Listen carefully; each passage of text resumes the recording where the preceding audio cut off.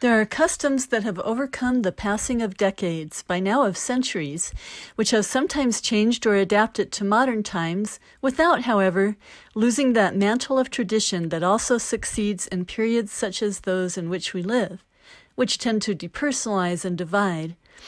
On the contrary, to unite to safeguard the spirit of a people. If you notice, in cultures even very different from each other or separated by centuries, Similar elements appear, which can be collimated or from which customs and habits have developed, which have then become classic and proper to epochs subsequent to the ones in which they have their roots. It happens in every field, from religious to military, for example. Several of the Christian holidays are the adaptation to the calendar of pagan anniversaries. Or, do you know the salvos of honor fired during the funeral of a war hero? It seems in certain African tribes, such as the Zulu, it was usual to throw spears and arrows into the sky at the death of a great warrior to ward off evil spirits that could undermine his journey to the afterlife. Even in less solemn areas, similarities can always be seen along this line. What the hell is this all about? It's easy to say with an example. Have you ever heard of Miss Navajo? I can assure you this position is very different from how it might sound, and that no one will answer here that her greatest desire is to be an actress and world peace. Miss Navajo Nation is a real contest held annually on the Navajo Reservation, starting in 1952.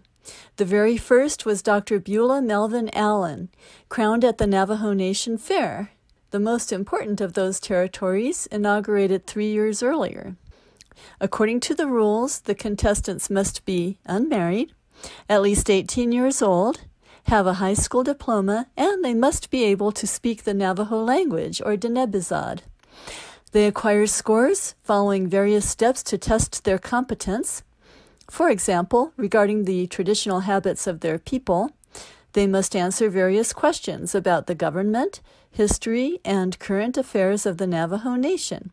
They must perform in a particular skill that is a talent that concerns the Navajo people in the strict sense, with one, let's say, contemporary, and are measured in practical tests such as making bread and even butchering sheep.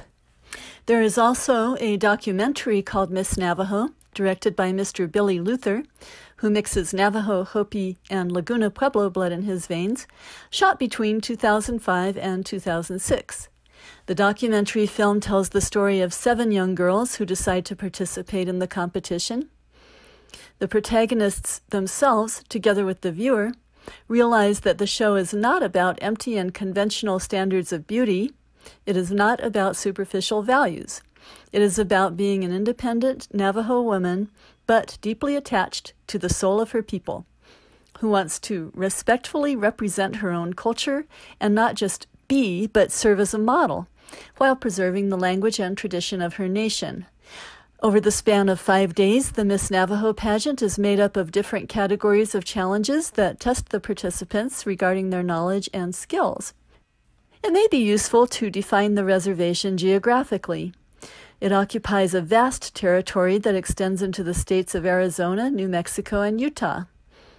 According to the U.S. Census Bureau, the U.S. Census Office, it has an area of more than 70,000 square kilometers.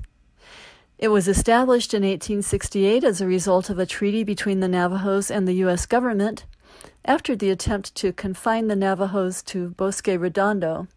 This location along the Pecos River is set in New Mexico and has gone down in history because in the years from 1863 to 1868, it was chosen as the first reservation for Navajos and Mescaleros but as they say, this is another story. The original size covered only about a quarter of the current one. The actual territory is divided into five agencies, which correspond to as many agencies of the BIA, Bureau of Indian Affairs, part of the Department of the Interior. Each agency is further divided into chapters, which constitute the smallest political unit of the Navajo Nation. Being Miss Navajo, we said, means experiencing a role that includes responsibility, courage, and leadership.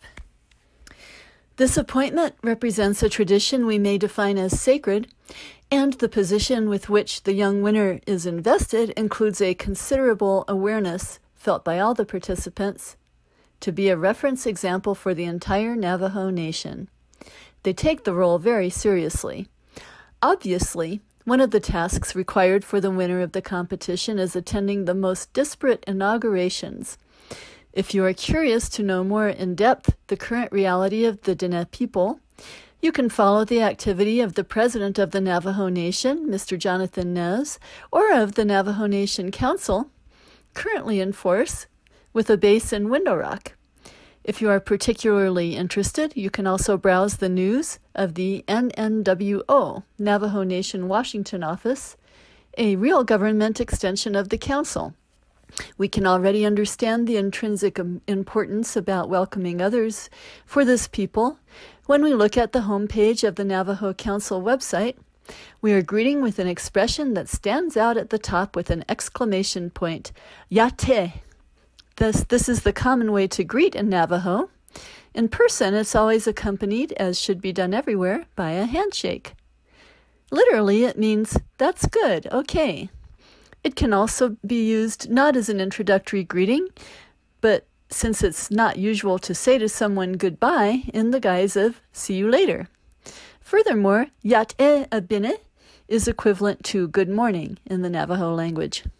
Returning to the core of our chat, delving deeper into the topic, we may underline there is not a single miss, but that the bands and the same number of crowns are more than one, even within the same nation. What's striking is the fact that with each new appointment, homage is paid to the winner of the previous year, thanking her for the job done and for the service rendered to the entire community. It doesn't seem at all strange, therefore, that misses from various competitions know each other, and they appear together on certain official occasions, always showing great mutual respect. According to the areas of the reservation, there are seven annual fairs. What are the differences between the roles of the various misses? Well, the basics of the contest are pretty much the same. Competitions are held on traditional talent, for example, carpet weaving, contemporary talent, for example, singing, there may be a parade in evening dresses, and sometimes contestants fry bread or traditional food. Miss Navajo must also, like we said, butcher a sheep within a set time limit. They also have to answer a question posed in the Navajo language correctly to show they know it. But this requirement has started to fail some competitions. In addition to Miss Navajo, there are four regional contests Miss Northern, Miss Eastern, Miss Southwest, and Miss Central. What about Southern? Well, there are a lot of chances that there isn't a Miss Southern because the capital, Window Rock, is to the south, so that area falls under the jurisdiction of the Great Navajo Nation Fair. The shows take place in connection with the regional fairs. There is a jury, usually made up of prominent members of the community or winners of other competitions, which awards each competitor a certain number of points in each competition.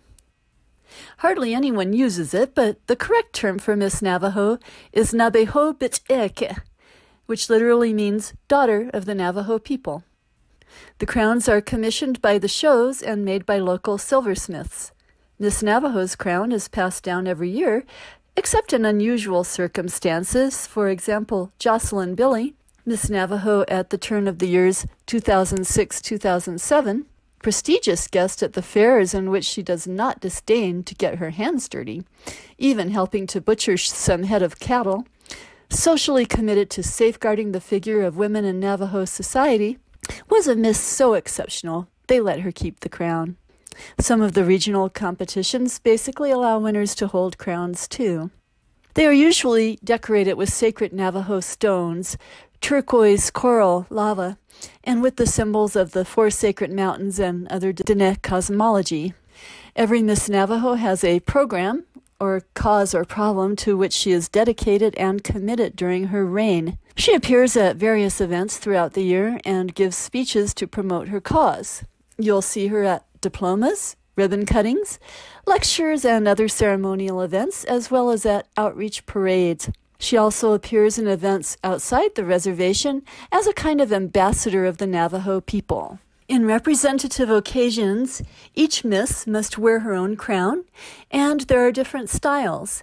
Represented on the crown, you may be able to see the Great Seal of the Navajo Nation, which represents sovereignty, independence, and tradition for the Diné people. Not to forget to mention Zilna Udiste and Zilchooli. Standing there is the gates of the Navajo Nation. These are two sacred mountain peaks of the Navajo Reservation. Homage is often traditionally paid to White Shell Woman, whose essence lives in all women and is embodied by Miss Navajo Nation herself.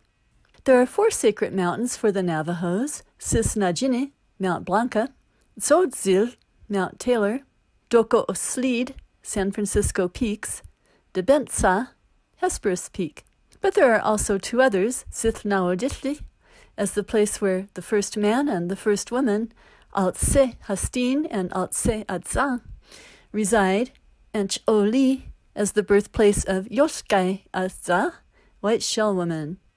White Shell Woman appears in the creation stories of various Native American tribes, including the Navajos, Zunis, and Apaches. According to Diné Bahane, the story of the people, since Diné, the name by which the Navajos are called, really means the people, White Shell Woman is the sister of Changing Woman Goddess. Created when Talking God and the wind blew life into two shells, the sisters felt lonely and sought company. Changing Woman with the sun and White Shell Woman with a mountain stream. They gave birth to two children, raised to fight the monsters that roamed earth. In some Navajo stories, White Shell Woman and Changing Woman become the same character. According to the Navajos, when White Shell Woman went to live alone, Talking God and other deities came to visit her. They brought ears of corn wrapped in sacred blankets, from which a man and a woman were created, who became the ancestors of the Diné people. This realization was born in the name of that brotherhood among peoples that should be respected by everyone, by those who welcome, but also by those who are welcomed, no matter whether they are in a tribe or in a new state, a brotherhood that transcends or should transcend time, and that if it had always been honored with facts and without too many words full of wind, it would have made our entire world a better place, not only during a specific time or in a determined place.